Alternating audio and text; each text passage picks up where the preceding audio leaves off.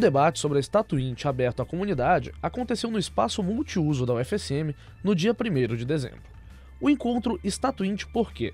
Você conhece a universidade que temos? Foi organizado pela Comissão Pré-Estatuinte e teve por objetivo discutir a importância de um novo documento que guie e organize a universidade. Participaram os professores Tabajara da Costa, ex-reitor da UFSM, Marco Aurélio Silva, ex-pró-reitor, e Albertinho Galina, que já passaram por tentativas de implementação de uma estatuinte no passado. O processo estatuinte vai iniciar os debates para a construção de um novo estatuto para a UFSM, que é o mesmo desde a sua fundação.